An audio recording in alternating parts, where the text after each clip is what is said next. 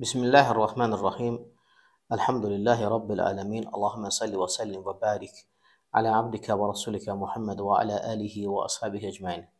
Dəyərli müsəlmanlar, bugünkü söhbətimizin mövzusu e, kasıb müsəlmanlara yardım etmək və yetimlərin ehtiyaclarından qaldırmaq, onlara himayə eləmək və həmçinin dul qadınlara himayə etmək e, haqqında olacaq.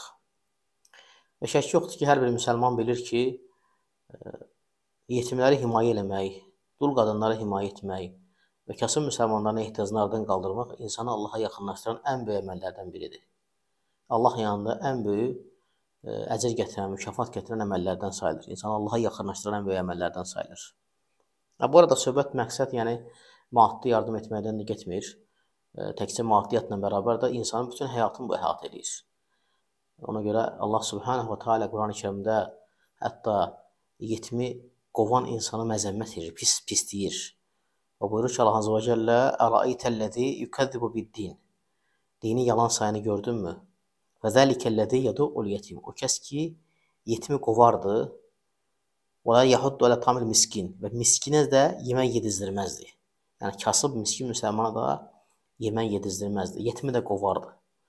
Ona görə təkcə burada e, maddiyyat deyil, ümumən insanın bütün həyatını əhatə edir e, bu mövzu. Və məsələ söhbət yəni mücərrəd olaraq kiməsə 5 manat yardım eləməkdən getmir. Və sən bilməlisən ki, sən bu əməlini ixlasla Allah üçün edərsənsə, hər hansı bir yetimi himayə edərsənsə, onun ehtiyaclarını aradan qaldırarsansa, hər hansı dul qadının ehtiyaclarını aradan qaldırarsansa, ehtiyaclı müsəlmanların ehtiyacını, sıxıntısını aradan qaldırarsansa, bu səni Allaha yaxınlaşdıran ən böyük əməldir. Və qiyamət günü tərəzidə ən ağır gələn əməllərdəndir. Ona görə bu məsələyə mücərrəd keyfin baxmayın. Yəni ki, bəzi insanlar var, müsəlmanlar var. Bəzi müsəlmanlar var ki, belə şeyə görə ağız burun əyirlər. Belə şeyə görə gileylənirlər, danışırlar, deyinirlər. Halbuki insanı Allaha yaxınlaşdıran ən böyük əməllərdən biridir bu. Peyğəmbər sallallahu əleyhi və səlləm buyurur ki: "Ənə və kafirul yetimi fil cənnəti həkəzə." Allah nəbisi bu iki barmağı ilə, orta barmaqla şahadət barmağını tutaraq deyir ki, mənimlə yetimi himayə eləyən cənnətdə bax belədir. Və arasını ayırır, yəni qonşudur cənnətdə. Hədisi Buxari rivayət edib, İmam Buxari. Həmçinin Allah Nəbisi sallallahu əleyhi və səlləm başqa hədisdə buyurur ki: "Əs-sə'i aləl-ərmiləti vəl-məsəkin kəl-mücahid fi sabilillah." Əvəl-qaimul-leyl və saimun-nəhər.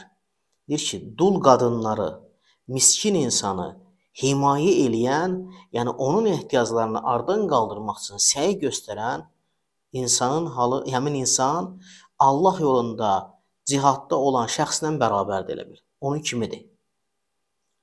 Və yaxud da deyir Allah Rəsulu gecəsi gecələri namaz qılan, gündüzləri oruç tutan kimidir. Gör necə əzəmətli əcrdir bu əməl. İnsanlar var ki, belə şeyə görə görsən danışırlar. Ağız burun əyirlər, deyinirlər. Halbuki insan Allaha yaxınlaşdıran ən böyük əməllərdən sayılır bu. Həmçinin Allah Rəsulu sallallahu əleyhi və səlləm digər hədisdə buyurur ki: "Men farracana axihi axihil mu'min kurbatan min kurbati dunya, farrajallahu anhu kurbatan min kurbi yawmil qiyamah." Kim bir müsəlmanın dünya sıxıntılarından bir sıxıntısından qaldırarsa, Allah subhanahu va taala onun qiyamət günü sıxıntılarından aradan qaldırar. "Və men satara musliman satarallahu alayhi satarallahu alayhi fid dunya vel axirah." Kim bir müsəlmanın eybini örtərsə, Allah Taala qiyamət günü, axirət günü, dünya və axirətdə onun eyblərini örtər. Vallah azza və cəllə fi auni abd ma dama abdu fi auni axihi. Allah o qulun köməyindədir, nə qədər ki o qul öz qardaşına kömək edir, yardım edir. Bu hədisdə Müslim rivayət edir. Ona görə dəyərli müsəlmanlar, bu məsələ çox əzəmətli məsələdir. Bəzi müsəlmanlar bu cür xeyir əməllərin fəzilətini unudurlar və bu əməllərin insanı Allaha yaxınlaşdıran əməllərdən olduğunu unudurlar. Və bəzən görsən ki, bəzi müsəlmanlar da bu haqqda kimsə yardım edəndə və yaxud da onun əleyhinə başlayır danışmağa, deyinməyə və çirkin ləfzlər, kəlmələr işlətməyə. Ona görə Allahdan qorxmaq lazımdır. Ya bu xeyir əməl edənlərdən ol, ya da o edənlərə mane olma. O edənlərə mane olma. O edənlər haqqında yəni heç bir şey danışma. Yəni çirkin ləfzlər işlətmə.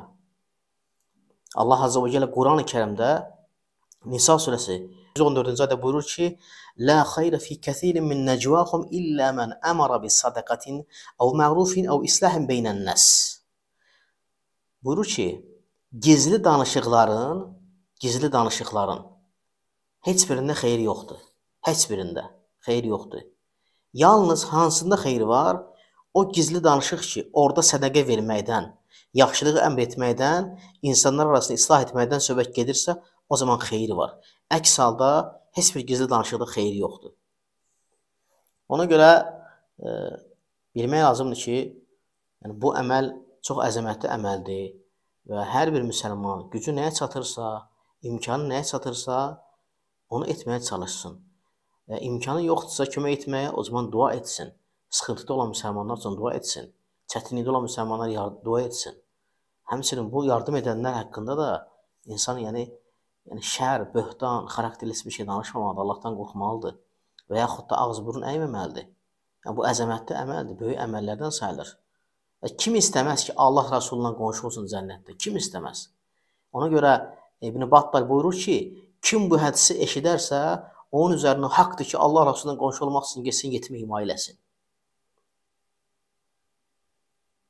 Kim bu hədisi eşidərsə, üzərinə haqqdır ki, Allah Rəsulundan qonşu olmaq istəyirsə, gedib bir yetimi himayə eləsin. Allah Subhanahu istəyir ki, Allah Subhanahu bizi xeyrlərə müvəffəq etsin və xeyir əməllərdə daim onda gedənlər etsin. Allah təala bizi haqqa kimi göstərib ondan yapışanlardan etsin. Batili də batil kimi göstərib ondan çəkənlər etsin. Subhanakallahumma hamdika, əşhadu an la ilaha illa ente, əstəğfiruka və etûbü ileyk.